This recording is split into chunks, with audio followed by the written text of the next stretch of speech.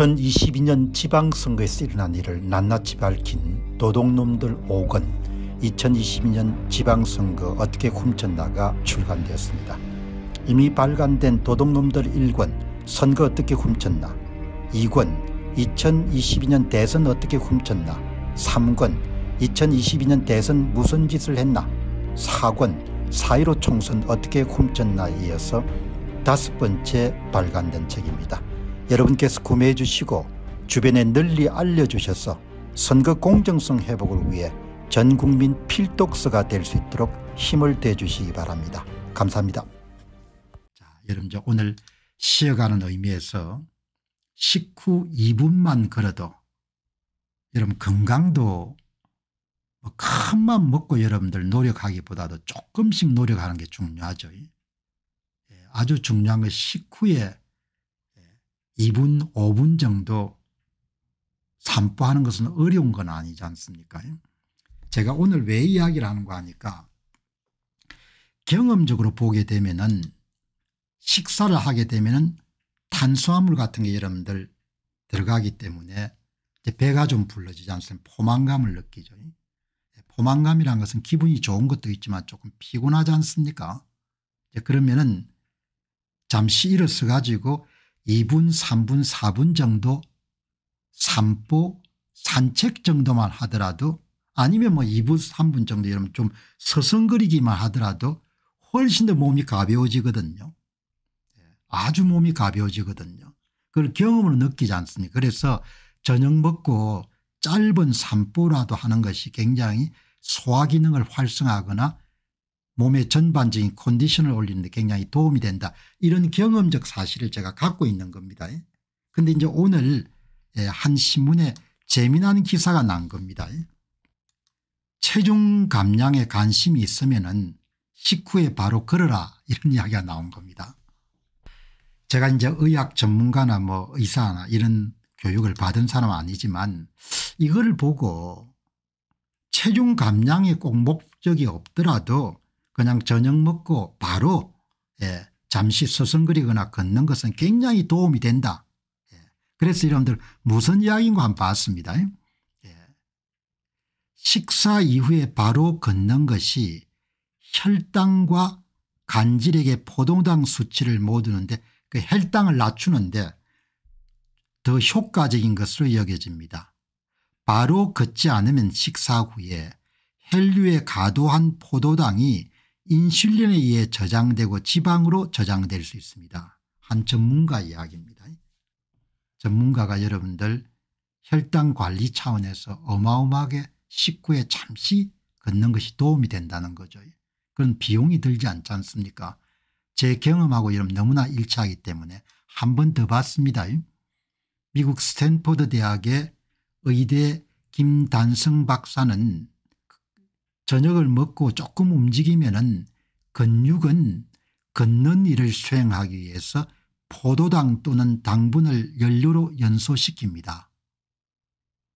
그래서 식후에 걷는 일은 예, 당뇨병 환자든 정상이든 간에 혈당을 낮추는 데 크게 기여합니다. 이런 이야기가 나온 겁니다. 그 여러분들 지금 당뇨 인구가 인구 5명 가운데 1명이라는 거 아닙니까 그지 그리고 한 번 말씀드린 바와 같이 한국은 한국인들은 췌장 크기가 인슐린을 분비하는 췌장 크기가 서구인에 비해 가지고 한 20% 작다는 거 아닙니까? 그래 과식 같은 걸 하게 되면 췌장을 훨씬 더 힘들게 하기 때문에 서양인에 비해서 과식 같은 걸 주의해야 된다는 거지 않습니까? 지금 이야기한 것은 우리가 일반적으로 걷는 만보 이런 것 차원이 아니고 저녁 먹고 나서 잠시 2분 3분 걷는 걸 뜻하는 겁니다. 예. 그냥 걷기 운동이 아니고 예.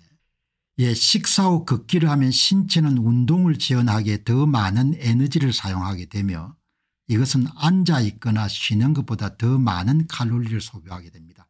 어떻든 간에 혈당 관리 차원에서 또 소화기능 활성화 차원에서 식후에 잠시라도 걷는 게 크게 큰맘 먹고 걷는 게 아니고 그래서 제가 이제 궁금해서 의과 교육을 받지 않은 사람이지만 예, 상식적으로 예, 한번 물어본 겁니다.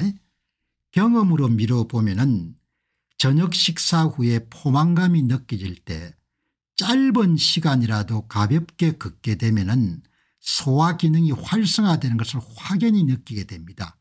의학적으로 어떻게 설명이 가능합니까 이렇게 제가 AI한테 물어본 겁니다. 그러니까 방송은 여러분들 아는 것도 하지만 이렇게 방송하다가 호기심이 나거나 이런 원리를 알고 싶으면 예, 방송에 다루는 겁니다. 예, 보시죠. AI가 뭐라고 하는 거 하니까 식후의 가벼운 산책은 소화 기능을 활성화시킵니다. 식후의 가벼운 운동은 위장의 운동성을 향상시킵니다.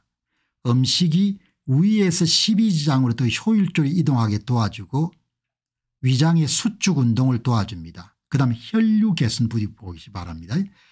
예, 식사 후에 운동으로 인한 혈류 증가는 소화기관에 더 많은 산소와 영양분을 공급해서 소화 기능을 향상시키고 혈류가 개선되면 소화 효소의 분비를 촉진해서 음식물의 분해를 돕습니다. 그러니까 이런 저녁 식사 후에 짧은 산보가 상당히 효과가 있다는 것을 의학적으로 이렇게 이야기를 해 주는 겁니다. 식후 가벼운 운동은 내장 감각을 조절하는 데 도움을 줍니다. 그리고 식후 걷기는 위가 음식물에 적응하여 확장하는 능력을 향상시켜서 조기에 포만감을 줄이고 소화를 돕습니다.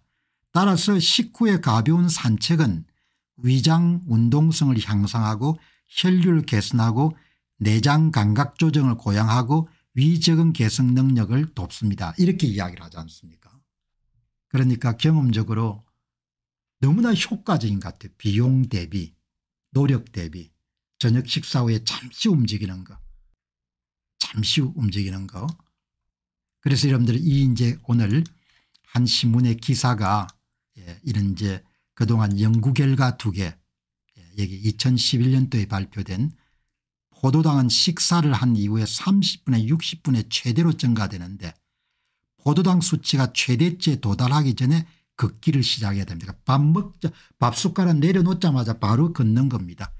인슐린이 분비되면 비만 호르몬으로 작용하기 때문입니다.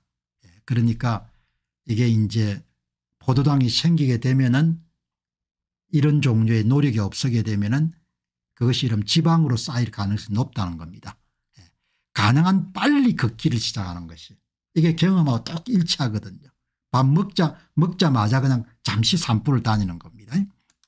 아침 식사 직후 혹은 저녁 식사 직후의 저강도에서 중간 강도의 활동 걷기를 포함한 식후 혈당 증가와 혈당 변동성을 낮추는 효과가 있습니다. 20분 걷기와 같은 운동은 식사 후에 가능한 빨리 수행할 때 식후의 고혈당증에 곧바로 유익한 영향을 미칩니다. 예.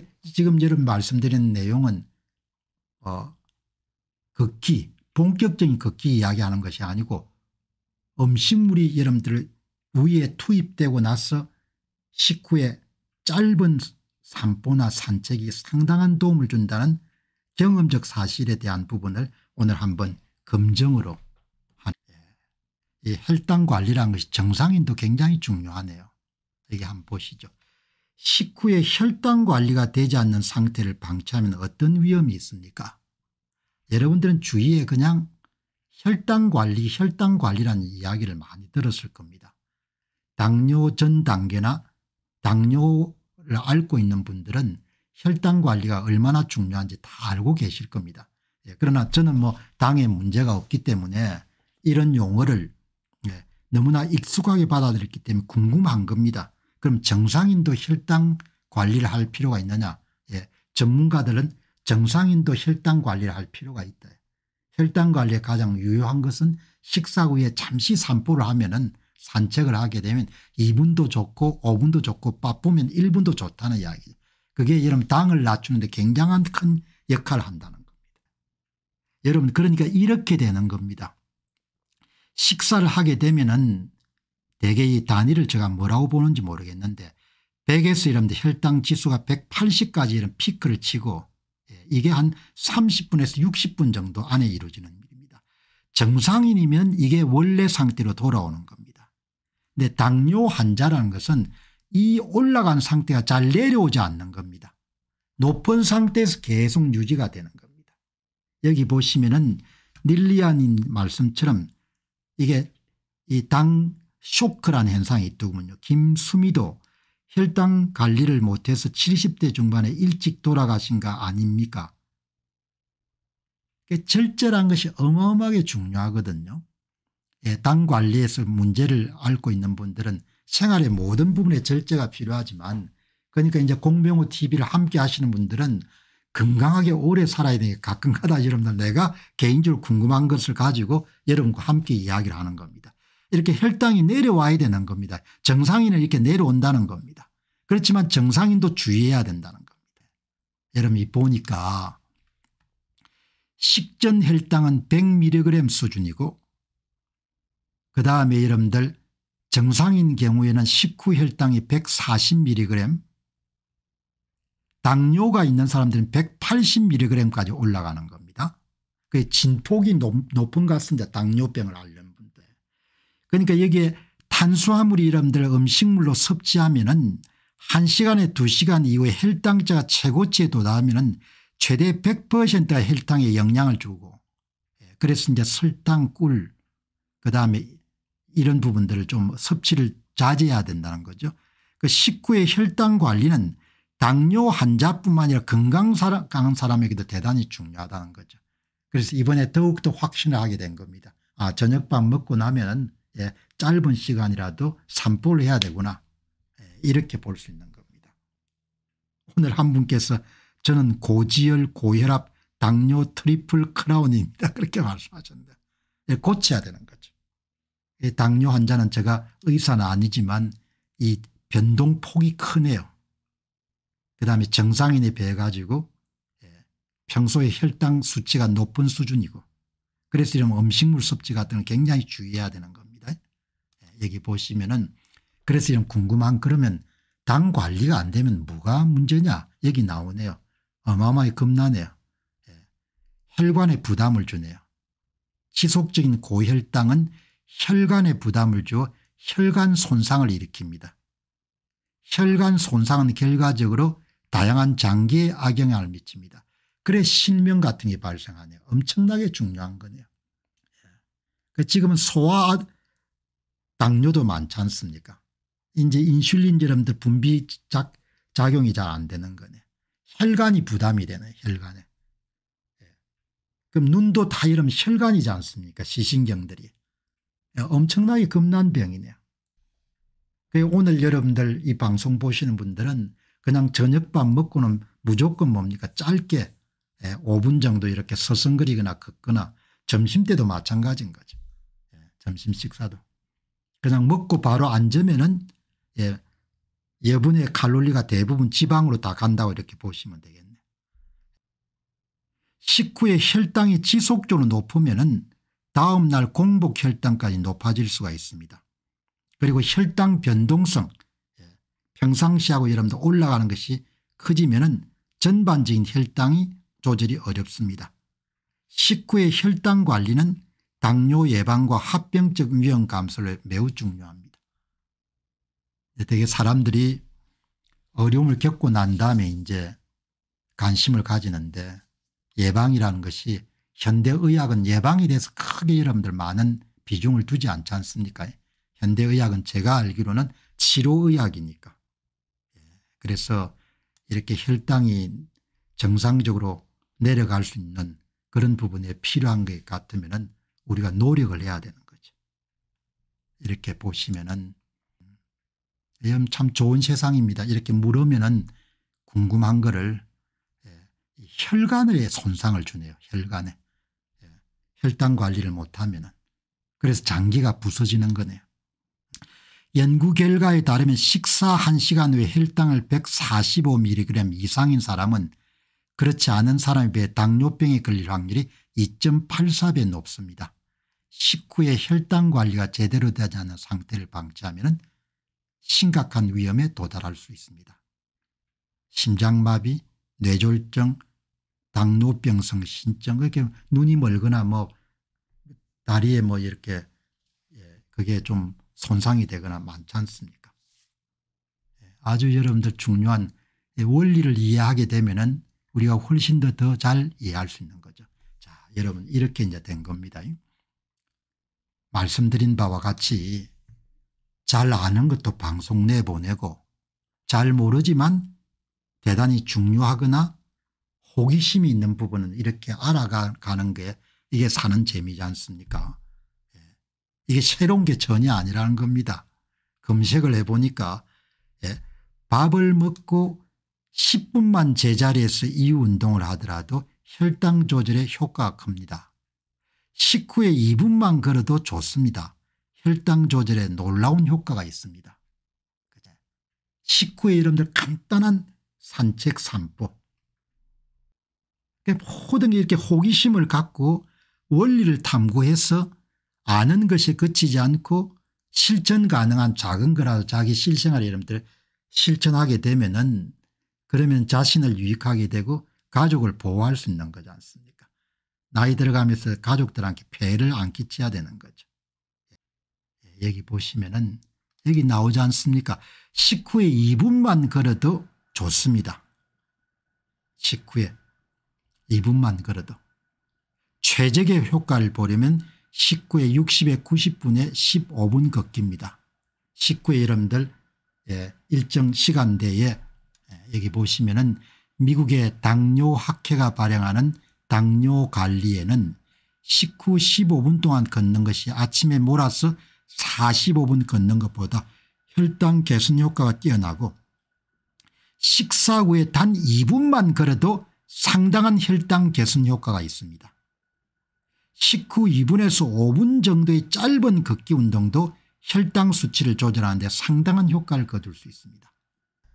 여러분 오늘 굉장히 중요한 생활의 지혜를 한번 다뤘으니까 뭐 세상이 어떻고 이런 이야기도 중요하지만 일단 자기가 건강해야 되지 않습니까 예.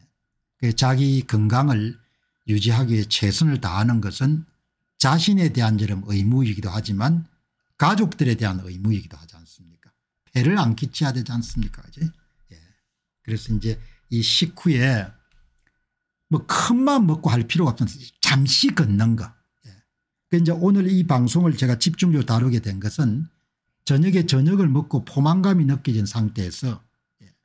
잠시 나가서 이런 5분에 10분 정도 산책하는 거하고 그렇지 않고 그냥 그냥 앉아 있는 상태하고 몸 컨디션이 너무 다르기 때문에 오늘 집중적으로 찾아보니까 과학적으로 완전히 증명이 되는 겁니다. 예.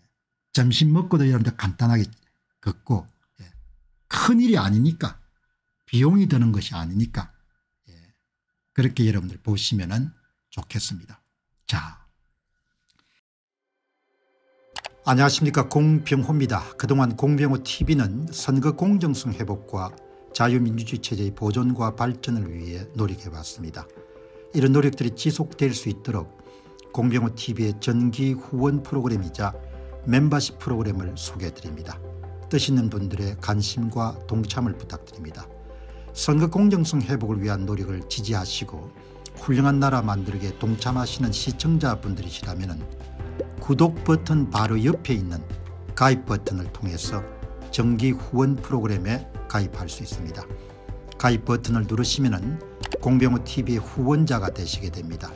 여러분의 후원이 선거 공정성 회복을 위한 노력에 힘을 더할 수 있을 뿐만 아니라 자유민주주의 체제의 수호를 그리고 발전을 통해 여러분과 후손들의 삶에 빛과 소금이 될 것입니다.